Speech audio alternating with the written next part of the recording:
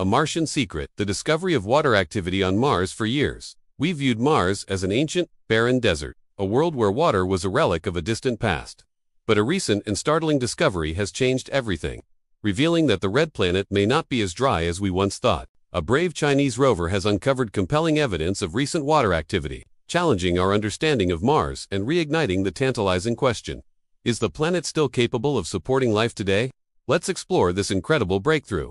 The Chinese rover's amazing journey. The story begins with a rover that landed in a region of Mars, long suspected to be a part of an ancient ocean. Its mission was to search for signs of past water. What it found was far more unexpected.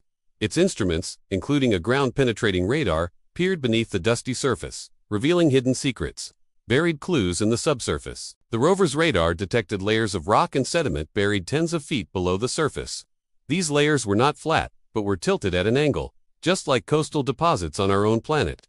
This subtle, sloping structure suggests that these formations were once part of a shoreline, shaped by waves and tides of an ancient body of water, a monumental discovery that provides the clearest evidence yet of a past ocean. The mystery of the crust, the most surprising discovery was the presence of a hard, cemento-like crust on the surface of some dunes. Scientists, after careful analysis, believe this crust was formed by liquid saline water. They theorized that as frost or snow melted in the mornings, the water, mixed with salt in the soil, would evaporate, leaving behind a hard crust that cemented the sand grains together. This indicates that liquid water, in some form, is still active today, or at least was in the recent past, a truly revolutionary finding.